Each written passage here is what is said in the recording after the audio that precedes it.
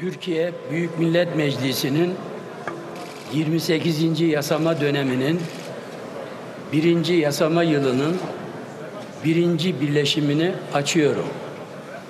Toplantı yeter sayısı vardır. Sayın milletvekilleri, Sayın Cumhurbaşkanı kendilerine ayrılan locadaki yerlerini almak suretiyle meclisimizi teşrif etmişlerdir. Kendilerine genel kurul adına hoş geldiniz diyor.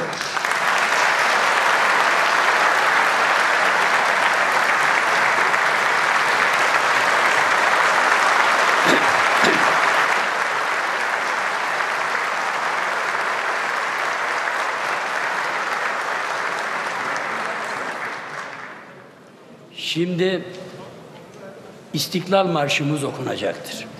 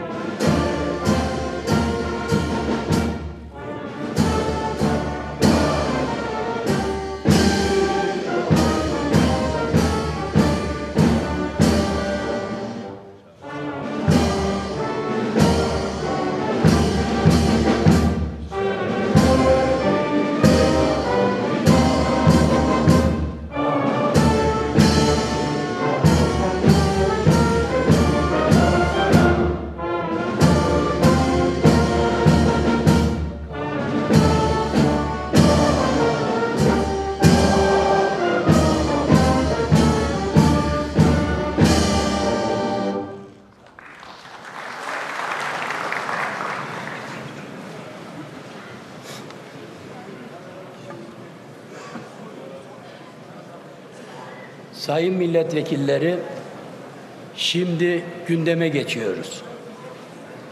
Gündemimize göre ant içme töreni yapılacaktır. Fakat ant içme töreninden önceki meclisi, meclis başkanı sıfatıyla sizleri selamlamak istiyorum.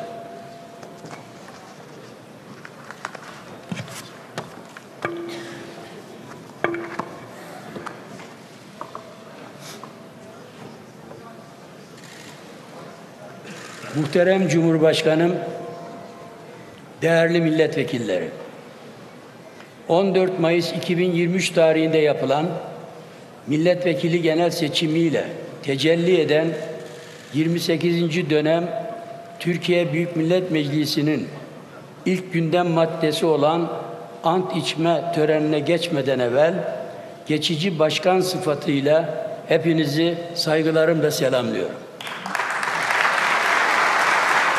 Egemenliğin yegane sahibi, aynı zamanda mensubiyetinden iftihar ettiğimiz Büyük Türk milletine şükranlarımı sunuyorum. Gazi Meclisimizin bu yeni döneminin ülkemize, milletimize, siz değerli milletvekillerimize, bunun yanında siyaset ve demokrasi hayatımıza hayırlı olmasını, bu suretle muazzez gelişmelere kapı aralamasını hasreten temenni ediyorum. Ayrıca ilk turu 14 Mayıs 2023, ikinci turu da 28 Mayıs 2023 tarihinde yapılan Cumhurbaşkanı seçiminde 13. Cumhurbaşkanımız olarak seçilen Sayın Recep Tayyip Erdoğan'ı da meclis namına gönülden kutluyor, üstün başarılar diliyorum.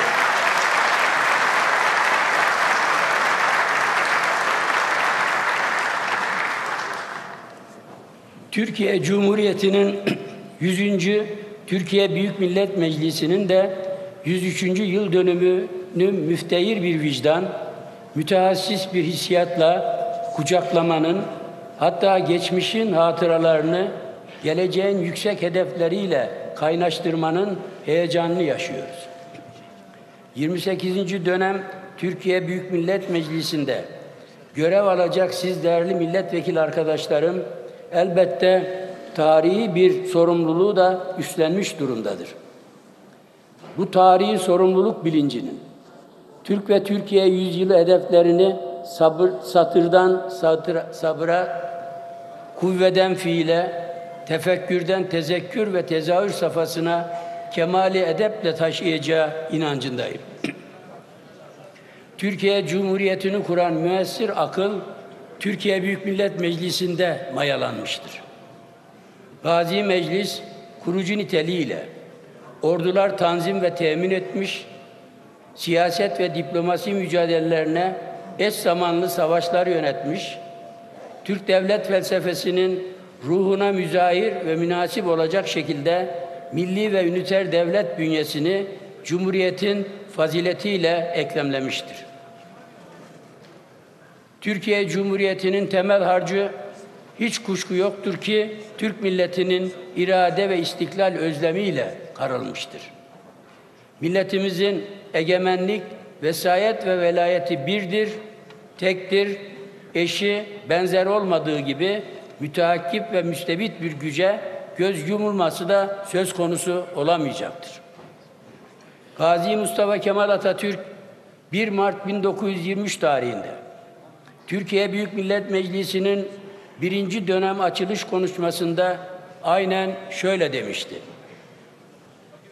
Millet önünde, onun hak ettiği bağımsızlığın önünde, onun layık olduğu gelişme ve yenilenme arzusu önünde her kuvvet ancak milletin irade ve amaçlarına uymak şartıyla yaşayabilir. Milletin irade ve amaçlarına uymayanların talihi hüsrandır, çökmedir. Bilinmelidir ki hepimizin ortak paydası Türkiye'dir. Türk milletinin aziz varlığı bu çatı altında görev alan siz muhterem arkadaşlarıma tevdi ve tevzi edilen vekalet vazifesi tarih huzurunda omuz omuza daha büyük işler yapmamızın istikrarlı şevkine şuur aşılama, aşılamalıdır. Müstesna gücümüzün birlik, beraberlik, kardeşlik, mutabakat ve dayanışma tahkim edileceği kanaatimi bilhassa sizlerle paylaşmayı zaruri addediyorum. Her anının tarih olduğu bir teviye devam bir hayat çakışı, millet lehine çevirmenin, gelecek nesillere huzurlu, güvenli, gelişmiş, mamur ve müreffeh bir Türkiye'yi emanet etmenin hedefine tek yürek halinde kenetlenmeliyiz. Buluşma potamızın da büyük Türkiye idealiyle pekişip genişlemesini hep birlikte sağlamalıyız.